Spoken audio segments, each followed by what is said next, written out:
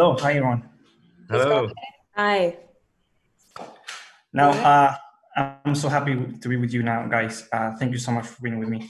Before we begin, I'd like to congratulate you both for your work in the show. Uh, we're only allowed to watch five of the episodes so far, and I've enjoyed uh, every minute of what I've seen so far.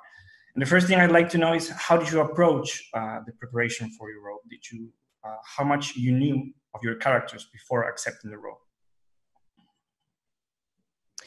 Um, well, I'll I'll start that off. Um, you know, I remember reading the manuscript to this, uh, the conjoining book written by Tom Wheeler and Frank Miller, about two years ago, and this is before there was a script um, or anything available yet. And I just remember reading it and and basically just not being able to put it down. Um, it was something that just felt so exciting and new and fresh and challenging. And Nimue was one of these characters, especially as a young woman, as as a woman in the industry, where I just looked at that role and I went, you know, they're so far and few between.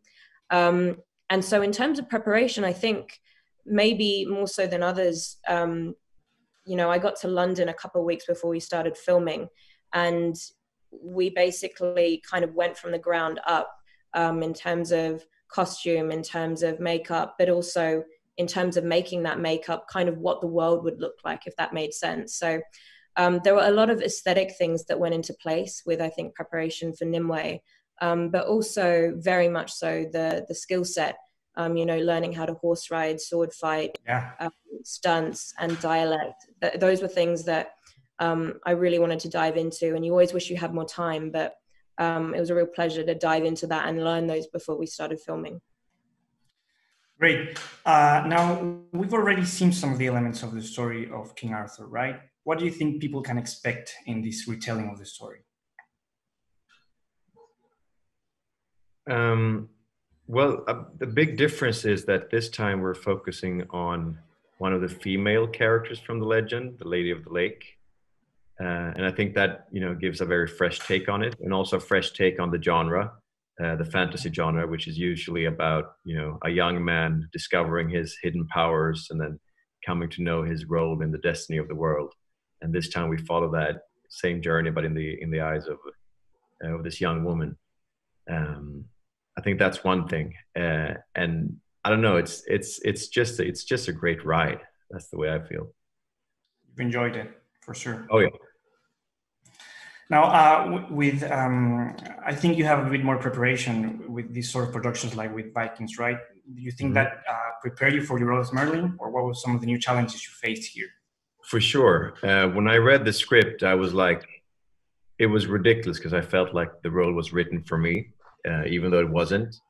But I was like, okay, this is like I've prepared for this role my whole life. I felt like uh, with my previous uh, work and my, you know my own interest for fantasy, the fantasy genre, and I've always been into horse riding and bow and arrow and sword fighting and everything. So I really am a fan of the genre.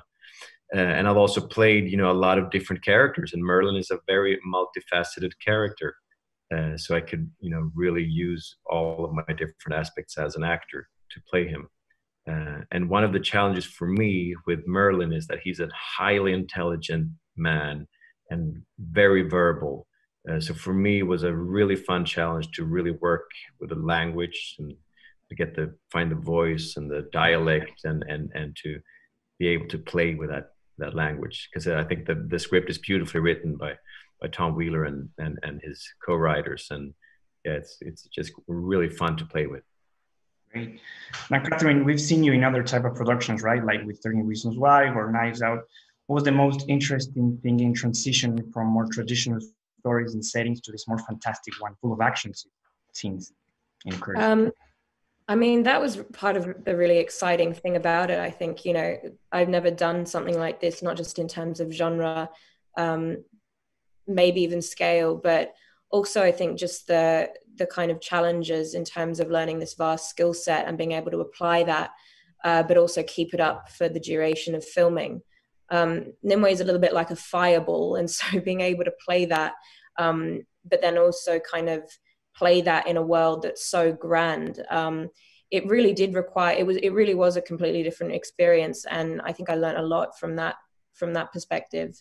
Um, but it also gave me a lot more respect for these epic um, and you know these really huge productions that you see, especially ones where um, you hear about people training for eight to twelve months or whatever, because it really takes that long to not only have the skills but also to be able to maintain it.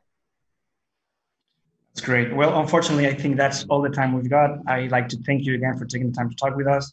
You have you've been very kind. Have a great day. Bye. Thank you, Andres. Thank Bye. you. You too. Bye. Bye.